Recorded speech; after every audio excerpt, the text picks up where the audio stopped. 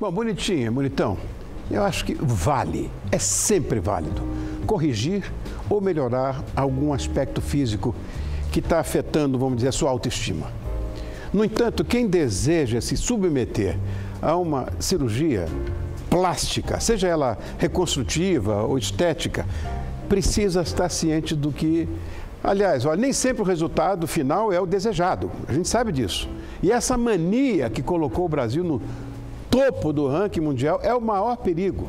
Nós vamos falar sobre as possíveis complicações de uma intervenção cirúrgica com a ajuda do nosso parceiro, que é o cirurgião plástico e médico perito Alexandre Cataoca. Alexandre, obrigado Mais por ter uma vindo. vez, obrigado. Pra gente rever. Você obrigado tá bem? mesmo. Tudo ótimo, graças a Deus, tudo bem. Rapaz, só bobagem. Absurdos, né? Você vê isso, de certa forma, de repente, pode, não acontece, mas pode comprometer a sua atividade profissional e de todos os, os Cirurgiões cirurgiões plásticos. plásticos sérios. Sem sombra de dúvida, essa, essa visão fica maculada assim. As pessoas já olham no, no cirurgião plástico, será que esse não é um picareta também? E aí a gente tem que bater na tecla que um cirurgião plástico demora para se formar, um cirurgião plástico não é do dia para a noite, o cirurgião plástico ele tem que ter título de especialista, senão ele não é cirurgião plástico, ele não está apto a fazer cirurgia plástica. É, essa história agora, a gente acompanhou na semana passada, né, esse, esse caso de uma, de uma paciente que infelizmente veio a óbito em decorrência de uma prática que eu vou dizer ilegal, né? Totalmente. Da, da- de cirurgia.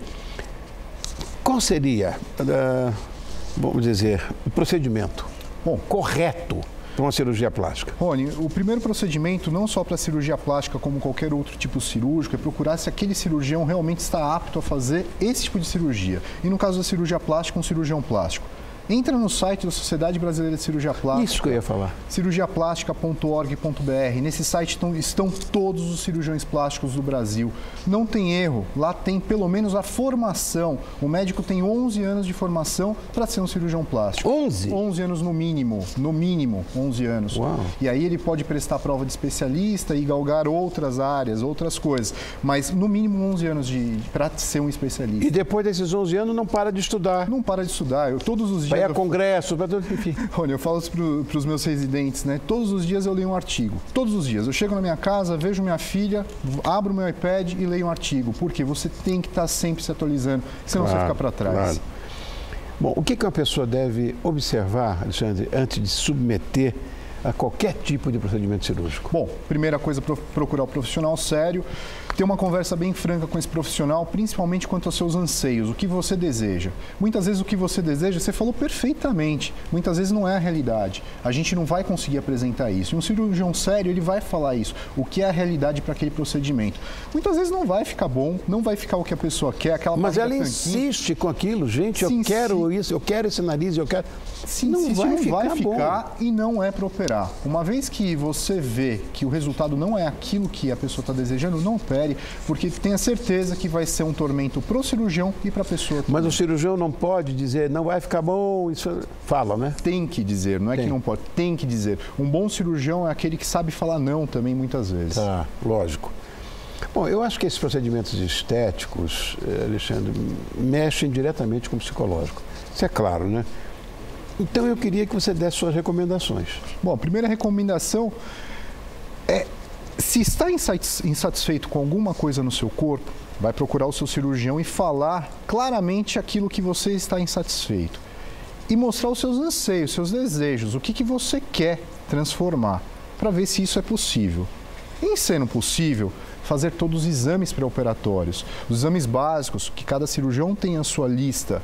Fazendo isso, estando tudo bem clinicamente, saber onde é feito esse procedimento. É feito no consultório, já fica com o pé atrás, que procedimento cirúrgico não se faz em consultório, ou se faz numa clínica totalmente aparelhada ou num hospital. Se tudo isso está certo e você está seguro de fazer a cirurgia, faça.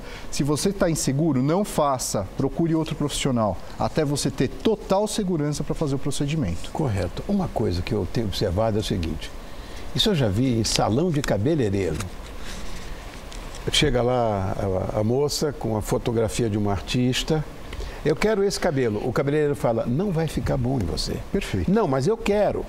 Isso deve acontecer com toda certeza com o cirurgião plástico. Muito, Ah, eu quero muito. igual, eh, ficar igual a a Angelina Jolie.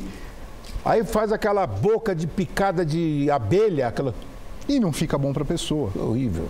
Então, isso acontece diariamente com a gente. São as fotos de iPad, de, de, de celular, que trazem para a gente e falam, eu quero ficar assim. Infelizmente, não tem como, felizmente, né? Não claro. tem como ficar, porque cada pessoa tem um corpo, cada pessoa tem um biotipo, cada pessoa tem uma cicatrização. E não é dessa maneira que, que é a cirurgia plástica. A cirurgia plástica não é milagre.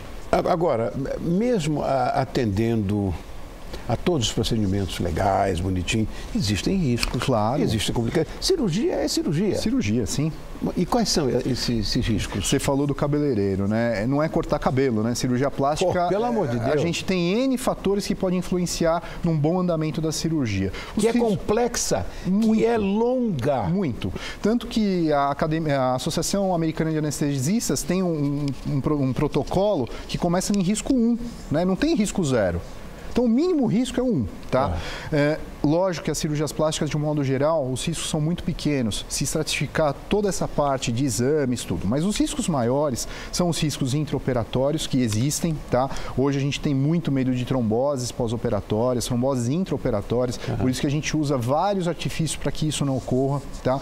Os exames estando tudo bem, risco diminui para caramba, diminui um montão, Sim. mas não é zero não é zero. Pode abrir cicatriz, pode ficar cicatriz feia, que são os queloides, cicatriz claro. hipertrófica. Uma outra ocasião no passado a gente conversou muito Foi. bem sobre isso. Falamos sim. E isso tudo são riscos que podem acontecer e não são zero. As pessoas têm que saber que vai trocar aquela flacidez, vai trocar aquela gordura por uma cicatriz. E essa cicatriz vai ser para o resto da vida.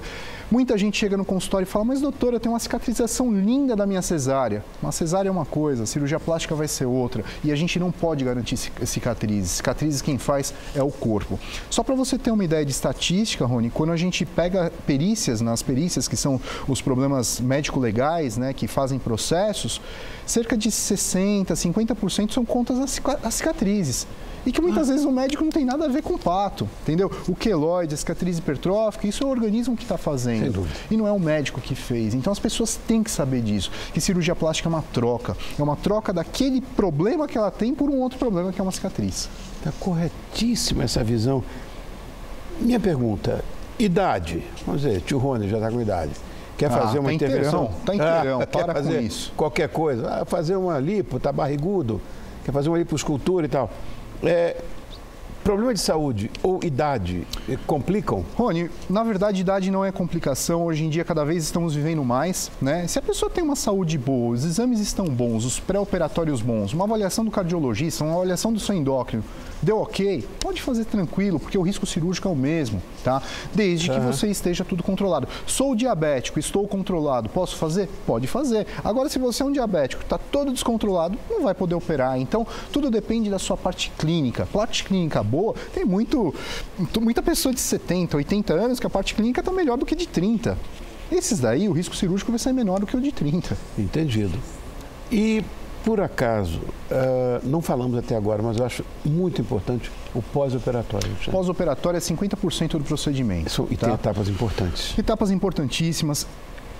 Por favor, sigam o que o médico pede. Tem uma orientação por escrito. O médico fala: olha, não vai dirigir daqui 15 só daqui 15 dias dirigir faça isso, tá? Já tive problemas de pós-operatório, a pessoa ir para balada, três, quatro dias de uma prótese de mama ir para balada e abrir todos os pontos. Isso Ai, acontece. Mas eu não estou com dor, doutor. Poxa vida, a dor é, é, só uma coisa, entendeu? Tem N fatores que estão envolvidos que pode acabar com a sua cirurgia. Então, siga as orientações do médico. Isso é, é importante. Que, tem às vezes umas coisas são simples, que são massagem, não sei no quê. Drenagem, Drenagem linfática. linfática exatamente. Tudo. Ah, não fazer isso não, isso é uma bobagem. Bobeira, ai, vou ficar fazendo massagem. Pessoal, faz toda a diferença no pós-operatório. Se o médico indicou, faça. faça é porque faça. precisa, não é bobeira. Qual é a dica? Essa é para matar a pau, que você dá para quem pensa em encarar o bisturi. Primeira coisa é ter segurança completa do procedimento que vai fazer. A segurança começa, primeiro, na aceitação do corpo e na aceitação da sua cicatriz. Segundo, procurar o bom profissional, profissional sério, profissional adequado. Cirurgia plástica é com cirurgião plástico mesmo, especialista da sociedade. Tendo tudo isso, veja o hospital que ele opera, veja a estrutura que ele tem por trás das suas enfermeiras, da sua equipe, e aí sim, estando tudo seguro, tudo certinho, faça a sua cirurgia. Se está mais ou menos, não é para operar não. Até porque se escolher o profissional certo, essa cicatriz vai ser uma bobagem. Exatamente. É, a pessoa começa a aceitar bem porque é a troca, né? Aquela troca Não, daquele E ela problema. vai ser seguramente é, muito mais, vamos dizer, simples, a não ser que tenha um caso de um aqueloide e tal, que é, é o organismo que reage. Mas vai estar muito melhor se escolher um bom profissional. Sem concordo sombra de contigo. dúvida. A segurança é 100% numa cirurgia dessa.